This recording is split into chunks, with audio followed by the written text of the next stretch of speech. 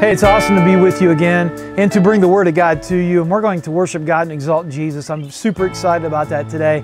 Here in a few moments, we're going to start, as, as always, by singing a song and just worshiping God through uh, just praising Him with our voices and just lifting Him up and exalting Him that way. So I'm going to lead us into a word of prayer and then we're going to jump in uh, to uh, doing that, praising Him through music, and then we're going to spend some time uh, looking at the Word. We're in a series called Comfortable Lies and we're exposing those, those subtle lies that Satan deceives us with.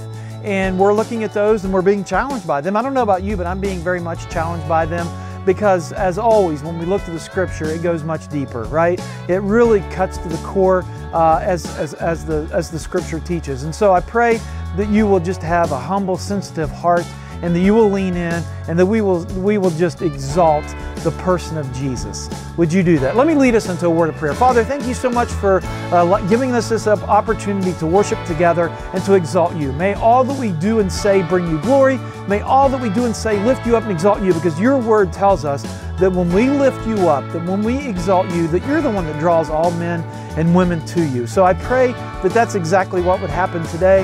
But first and foremost, I pray that we would just bring you glory, that you would find incredible joy in your children coming together online, in person, however, to just lift you up and sing our praises and, and lean into the message and worship you. And we pray all this in your name. Amen.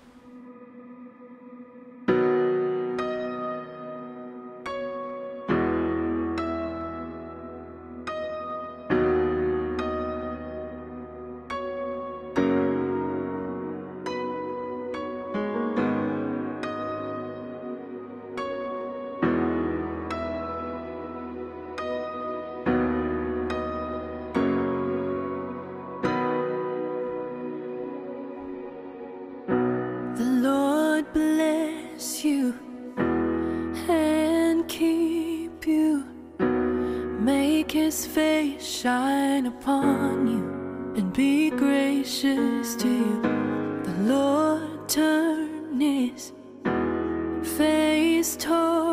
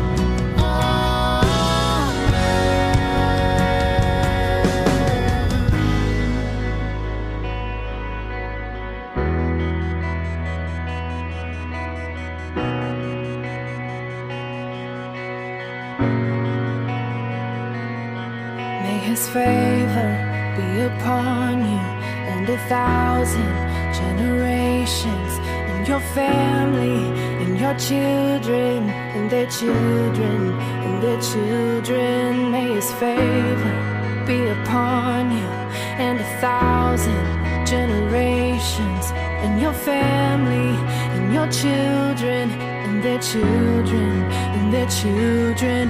May his favor be upon you and a thousand generations and your family and your children and their children and their children.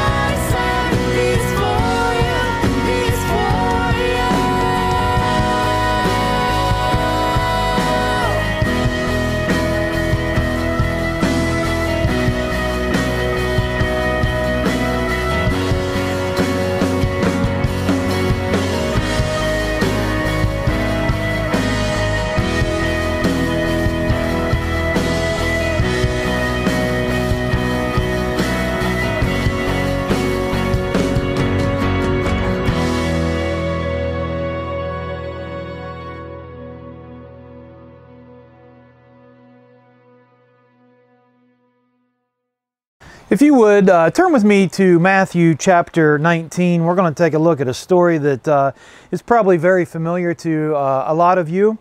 Uh, and we're going to take a look at yet another, what we are calling comfortable lie. Okay? So we're in this series called Comfortable, Comfortable Lies. And what we're trying to do is just kind of expose some of the ways that Satan can be very deceitful to us, some of the things that we can buy into, uh, and some of the things that are presented to us in a very subtle way. They're not blatant.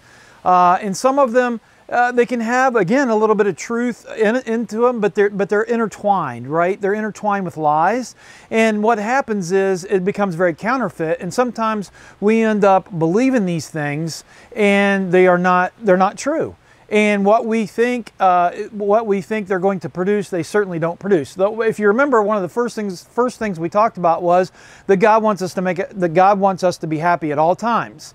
And we talked through that and we realized that you know if we truly believe that then we make god out to be someone who is there to serve us okay?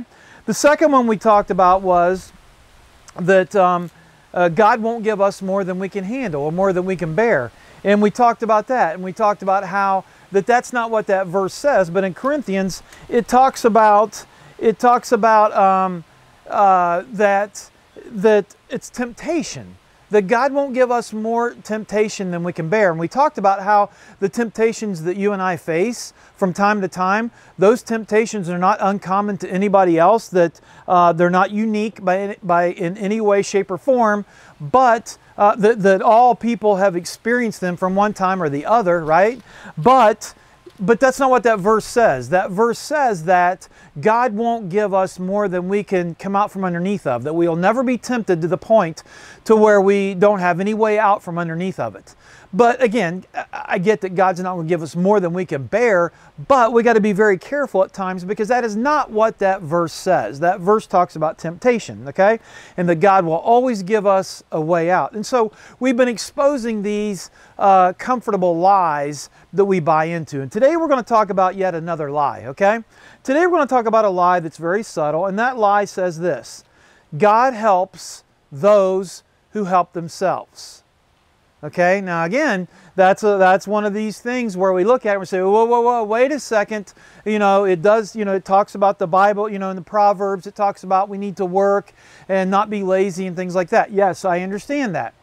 But I want you to lean into this because, again, this is a very subtle lie that we can buy into. The subtle lie says that God helps those who help themselves. Now, if you think about it, it's a lie because it really communicates self-sufficiency is what it communicates it communicates self self-sufficiency. It communicates that you know what there's things in, in, my life that if I just apply myself, if I just work hard enough, that I can make things happen. And guys, I'm telling you, this is a very dangerous path to start down. Okay, this is a very dangerous path to start down because we can become convinced, we can become convinced and deceived and, and buy into this lie that says that we can do some things that we just can't do, i.e., salvation grace, things like that. There is nothing that you can do for your salvation. If you want to say, well, I do, there is one thing that I can do is respond, now we're just kind of being argumentative, right? Now we're just trying to debate. The point is that God does help us because there are times that we cannot do anything about it. When it comes to salvation, when it comes to living a life that, that is pleasing to God, if we think that we can do it on our own, we are sadly mistaken and we're on a journey that will never produce what we think it can produce, which is, a, a, is life, okay? And last week we talked about that as well. We talked a little bit about that, you know, this very concept, but I want to explore this just a little bit more, okay? So in Matthew chapter 19, we read about an interaction that Jesus had with a, with a person. And if you want to turn there with me, it's, it, and it really talks about this concept of being self sufficient. And the nature of the question that's even asked is very disturbing. Okay? So if you would, turn with me to chapter 19 of Matthew, and we're going to start with verse 16, and let's read that. Okay? So follow along with me. It says this Just then someone came up and asked him, Teacher, what must I do to have eternal life. Now, we could stop right there and I, we can dispel this lie right out of the gate because it's talking about self sufficiency. This guy is coming to Jesus and he's asking this question Teacher, what good must I do to have eternal life? Now, the last time I checked, to have eternal life is through the sacrifice of Jesus Christ, which we're going to talk about that here in a few moments. But when someone's asking this question, what good must I do to have eternal life? We're already embarking on the wrong journey, okay? He goes on, uh, Jesus says this, and, it's very interesting. Why do you ask me about what is good? He said to him, there is only one who is good. If you want, if you want to enter into life, keep the commandments. Verse 18, which ones? He asked him. Jesus answered, Do not murder, do not commit adultery, do not steal, do not bear false witness, honor your father and mother, and love your neighbor as yourself. Now I want you to listen to his response. I have kept all of these. I've done all these. Okay? I've kept all of these, the young man told him. What do I still lack? And this is a very profound question. because Jesus is going to unload. In verse 21, he says this If you want to be perfect, Jesus said to him, go sell your belongings and give to the poor, and you will have treasure in heaven. Then come, follow me. Verse 22 When the young man heard that command, he went away grieving because he had many possessions. Now, when we look at this passage of scripture, there's a couple things I want to share with you. Let's take a look at this guy that approached him, okay? The Bible tells us that he was very rich, okay? And it was rich in earthly terms, uh, rich in earthly possessions, in money, in, uh, you know, again, earthly possessions and things like that. So he was very rich. He was wealthy. He had money. He was very young. Uh, he was probably, and I hate to say this because I've surpassed this age, but studies uh, show, theologians have said that he's probably, he's probably no older than 40. He's probably younger than that, but he's no older than 40, okay? Unfortunately, I've surpassed that, and probably many of you have surpassed that too. Uh, and so we would not be considered the young, the young person, right? Uh, in fact, I think it's very, and I digress, but I think it's very disturbing when we start checking off these boxes where it asks our age. And our, have you ever noticed how your age group goes to the next category? You know, and it's just like, oh man, I think I, I think it's really cool when your age group is still in a big chunk of a young age. You know, like 30 to 55, and I can say, yes, I still fall in that. I still fall in that age group, right? So this guy was young. He was probably he was no older than 40, more than more than likely. Uh, he was very prominent.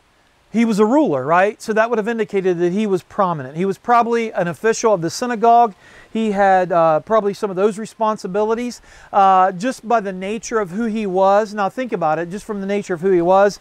He, he was excellent when it came to the outward appearance. He was excellent when it came to the outward appearance or the, you know, the outward, the outward heart, the outward mind, right?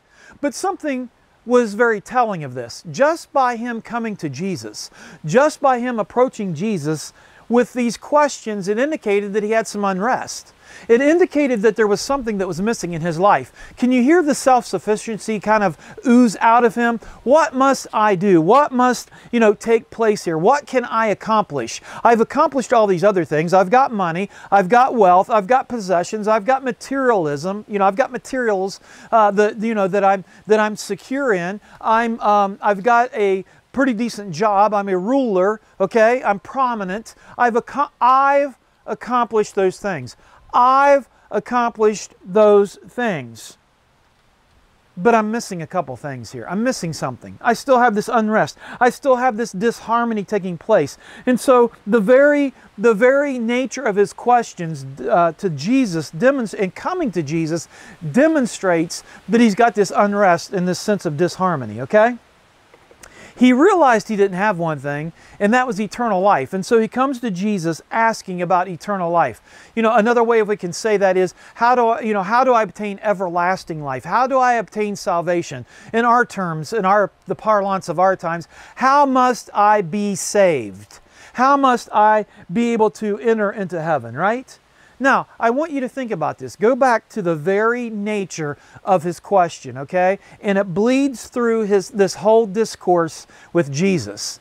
And it's very narcissistic, okay? Let's not for, let's not let this escape us because this is this is again these questions are rooted in self-sufficiency. I, what must I do? What can I accomplish? What can I achieve? What is it that I can accomplish to what? To inherit eternal life. What can I do to be saved? What can I do to have everlasting life? Guys, I want to share something with you and I want you to really lean into this. He's coming to Jesus and he's asking this question, but by the very nature of how he's asking it, of how he can accomplish it, would have been very offensive to Jesus. Okay, think about it. It would have been very offensive to Jesus. Okay, think about it. Jesus is getting ready to go to the cross. He knows that he's going to the cross. He knows that that's the will of, will of the Father. To the point he's, he's already thinking about it. He's, he already knows the implications of it. Jesus is going to be separated from the Father, uh, not just from a physical perspective, but from literally from kind of a spiritual perspective in a sense. And he's aware of this. This is already in his mind. Jesus is getting ready to, uh, as he would call it, drink the cup. He is going to perform the greatest sacrifice of all. He's going to lay his life down so that others may what? May inherit eternal life, may have eternal life by doing what? By keeping the commandments, by doing what is good, by doing uh, these things, by, by making this happen, by making that happen out of their own self sufficiency. How narcissistic that this guy was and didn't even know it. How rooted and just embedded in self sufficiency was this guy, okay? That's what I'm trying to share with you today is this self sufficiency can run so deep in us and so and so subtly that we buy into this. Because look at all that we've done. Look at all that we've done. And so he has he has the backbone, the gumption to come to Jesus to say, "What must I do?" Hey Jesus, this isn't about you. This is about me. What must I do to inherit eternal life? I love how Jesus answers this, and it sounds really kind of off putting at first, right? Because he basically says, you know, he basically says, you know, why are you asking me? Why are you asking me what is good? There's only one that's good, and that's God, right? And oh, by the way, if and I'm paraphrasing here, but this is what where Jesus went with it. Hey, hey, rich young ruler, you already have the answer to your question. Keep the commandments, right? Keep the commandments. According to the commandments, according to the law, right? According, according to the Torah, this is what you have to do to, to inherit eternal life. Okay? And Jesus spells it out for him. Don't murder. Don't murder. Don't commit adultery. Don't steal. You know, don't do those things. Don't bear false witness. Honor your father and mother and love your neighbor as yourself. I find it very interesting that Jesus used those commandments to illustrate God's commandments, the law, right? Because if you truly think about it, those are ones, now think about it, those are ones that we can actually keep. I haven't murdered anybody, right? Have you murdered? Maybe some of you have murdered someone. Hopefully you haven't. But nevertheless, there is forgiveness and there is grace, right? But I'm just saying, those are the ones that can be very easy to keep. I haven't murdered anyone. I haven't slept with anybody. I haven't committed adultery. I haven't cheated on my wife. I, now, again, um, I haven't stole anything. I haven't bore false witness, or I honor my father and mother, right? But think about it. Have I truly not done those things? Remember us, you remember uh, if you've been with us and tracking along with us for a little bit, when you look at the Beatitudes, when you look at the Sermon on the Mount, you remember Jesus kind of taking things to the next level? Because this is how we as a human view things. I haven't done these things. I haven't killed someone. I haven't committed adultery. I haven't stolen anything. I haven't, I don't bear false witness, okay? I honor my, I've done these things. And Jesus in the Beatitudes on the Sermon on the Mount says, you know what? If you've talked a certain way out of anger, you've murdered someone. I wonder how many of us right now can truly say now that we've never murdered someone. I've murdered someone according to Jesus' definition. I've been so angry with my children. I've been so angry with my spouse. I've been angry with other people that I've said something. I've verbally assaulted them or I've verbally spewed toxic vomit on them. Jesus will look at that and say, You've murdered somebody. You see, we don't like to hear that. No, we don't like that aspect of it, right? Because now it takes us out of our camp because now we've just lost control. Now we've just been stripped of this self sufficiency. And that's what Jesus, I think it's very interesting though that Jesus lays out these commandments because technically just reading them from the technical perspective, just like the Pharisees did, and this guy would have had that same perspective, I haven't done those things. And that's what he tells Jesus. I can imagine him becoming very uh, prideful or maybe ecstatic, maybe very happy to say, That's awesome. I haven't done those things because that's exactly what he said. He said this I have kept all these things. So, some translation says, I've kept all these things since my youth, from my youth. What do I still lack? And then Jesus probes even further, right? Jesus kind of leads, I, think it's very interesting because Jesus brings them back. They enter in this discussion again, and Jesus says to him, He says, Well, if you want to be perfect, if you want to be perfect, if you want to, if you, if you can do this, if it's up to you, if you really can attain this, if you want everlasting life, be perfect. Okay? And he says, and he goes after the jugular. He goes, he says this, go sell your belongings and give to the poor and then you will have treasure in heaven. Then come follow me. And then in verse 22, a very sad passage, it says, When the young man heard that command, he went away grieving. Why? Because he had many possessions. Because Jesus got to the core of who he was. Jesus got to the core of what truly controlled him. Jesus got to the core of what this guy was truly about, right? Great, I've done all these things. What else do I need to do? Well, Jesus, go sell them. Go sell them. And oh, by the way, give them to the one that's in need. Give them to your brother in need. I find it very interesting because I think Jesus is saying here, oh, by the way, you've already violated them. You say that you haven't violated them, but you've already violate, violated them, right? Because, think about this, guys. If we would read in 1 John chapter 4 verse 20, and I'm going to paraphrase, but if you want to if you want to go there and take a look at that, this is what 1 John chapter 4 verse 20 says.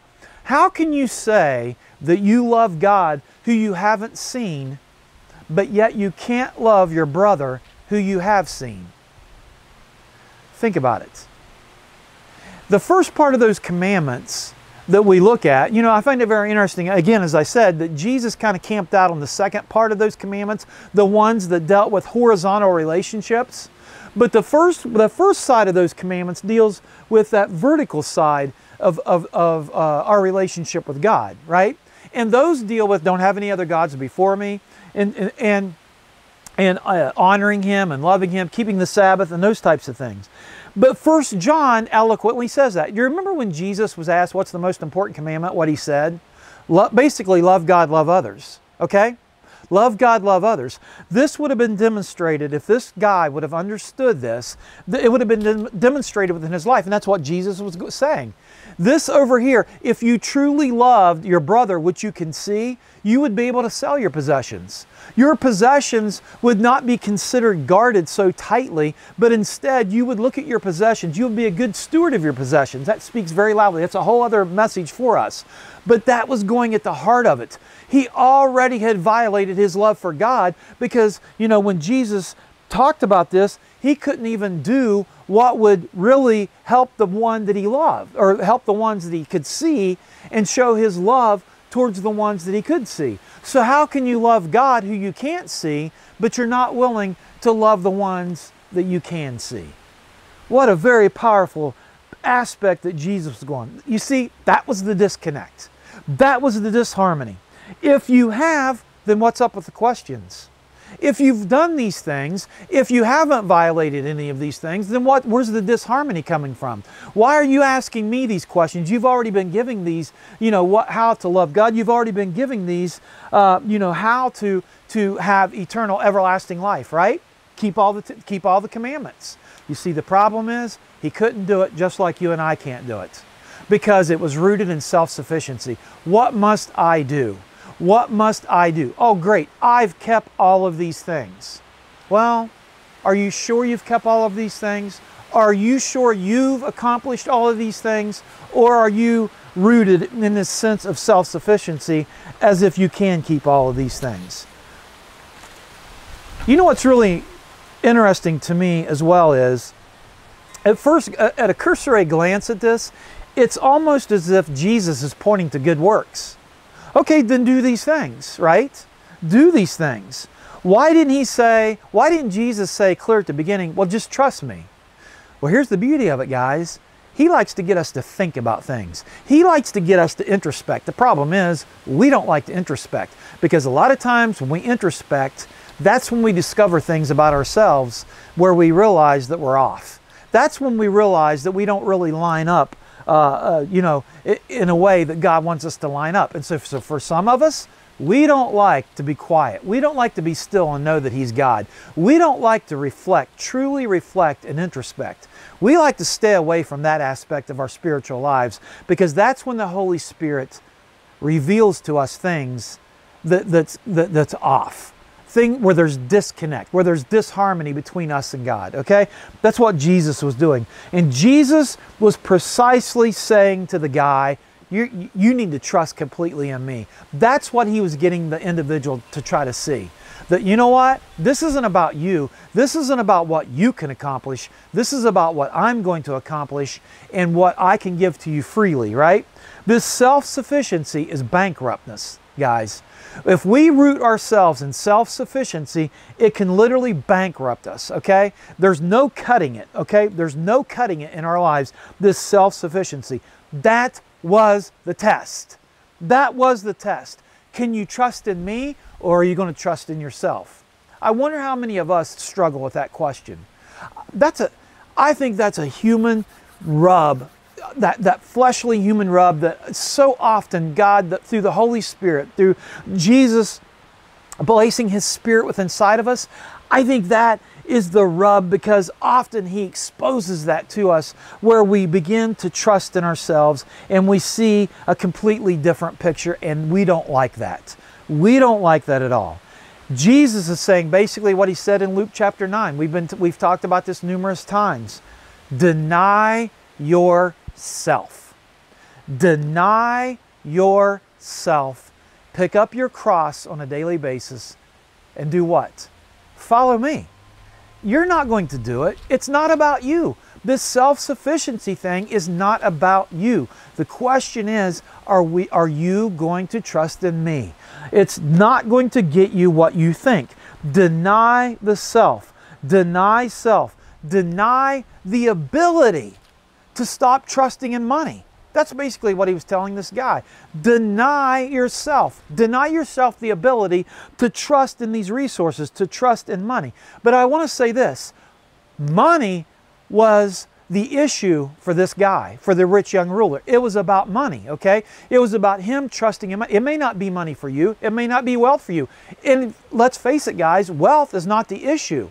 Money is really not the issue. What is the issue? The love of money. That's what scriptures teach us. That could be another comfortable lie, right? It's about, it's not about being rich. It's not about having a lot of money, which we're going to see. It's not about that. What it's about is that we trust in that. We, the love for we have. But so it may it may not be money for me. It may be something else for me. It could be education for me. It could be possessions for me. It could be relationships for me. It could be something else. What about for you? Is it relationships for you? Is it about the right? Is it about the, the concept to be right? Is it about the concept that when you speak, your opinion has to be heard? Is it about you being popular? Is it about you having, having to have your way? Is that what it's about? Is it about humility where you just can't buy into humility? Right?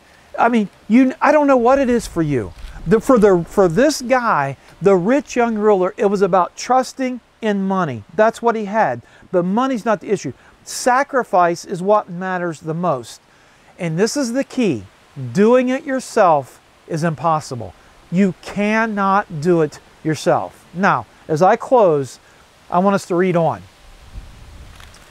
Look in verse 23. It says this then Jesus says to his disciples, the guy leaves and he turns to, his disciples and he says this I assure you, it will be hard for a rich person to enter the kingdom of heaven.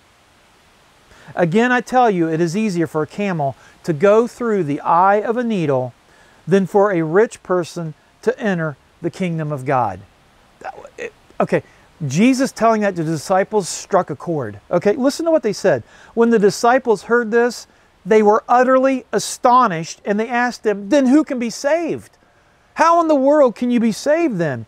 But Jesus looked at them and said this, and this is the key, guys. Listen to this. Verse 26 With men, this is impossible, but with God, all things are possible. Sounds like another verse we that, that reminds me of another verse. How about Mary? Remember Mary? How's this going to be possible? Well, Mary, when it comes down to humans, it's not possible, right? But with God, all things are possible. If you're relying upon your own strengths, your own self sufficiency, that God's going to help you if you help yourself, let me tell you something. This is a category where you're going to be bankrupt. And some of us struggle with that because it requires humility. It requires us to come to the end of ourselves and to say, Jesus, this isn't about me, but it's about you. This isn't about me, but it's all about you. Jesus told Peter that, or told the disciples that, when uh, the disciples asked, This is impossible. Then who can be saved? You're right. It is impossible because if it's up to you, you're not going to be able to save yourself. Deny yourself, pick up your cross, and what? Follow me. That's what he told the rich young ruler. Sell everything you have, love your neighbor, and then love God. Love your neighbor. Love your neighbor who you can see. Sell that which has the very thing that has a hold of your heart, the very thing that makes you self sufficient. Get rid of it. Let it go. Sacrifice it. Abraham, sacrifice that thing which you love the most, your child Isaac. Let it go. Sacrifice. Let it go. Deny yourself. Pick up your cross on a daily basis and follow me. Sell everything you have, give it to the poor, then come follow me. Are you rooted in self? Is it about you? This is the beauty of it all, guys. It's the gospel of Jesus Christ. Jesus is telling us, you can't do it, but I can. You can't do it, but I did. You can't do it, but I'm here to give you what? Grace. Don't worry. Don't worry about what you wear. Don't worry about what you're going to eat. Don't worry about tomorrow. Don't worry about your barns. Um, uh, you know, don't worry about those things. Whatever it is that's got a hold of you, don't worry about that. Let it go. Sacrifice it because there's nothing that you can do here but to deny yourself, to deny yourself and respond to the free gift of grace and mercy. What a beautiful passage. What a beautiful story. It's sad in a sense. But God, but Jesus is saying, you know what? With, with man, with humans, it is impossible. But with God, all things are possible. Follow Him. Give it up. Give it up. Let it go. And follow Him. And consequently, what are you going to have? You're going to have life and life to the fullest. Guys, and again, you're going to have eternity. You're going to have salvation but we can experience the kingdom. We can taste the kingdom right now. Jesus is saying you can taste it right now. Those of you that aren't following God, today's the day to respond to Him. And guys, those of us that are following God and we're still struggling with self, we're still struggling with self sufficiency, Jesus is saying, let it go. Let it go. Deny yourself. Pick up your cross and follow me daily. And then, and only then, will you receive eternal life. You will be saved. You will have life to the fullest, right? If you know the truth, the truth will what? Will set you free. Let's pray. Jesus, thank you so much for your free gift of grace and salvation. That it's not based upon us, it's not based upon our merits, it's not based on our hard work, it's not based on our self sufficiency, but it's based on us losing our lives. As a Christian, that's what it means to lose ourselves, to give it up, to give it all away, to let it all go and to follow you. God, give us the strength, give us the courage to receive your free gift of grace and love, to be renewed, to be refreshed where some of us have been struggling, and to let it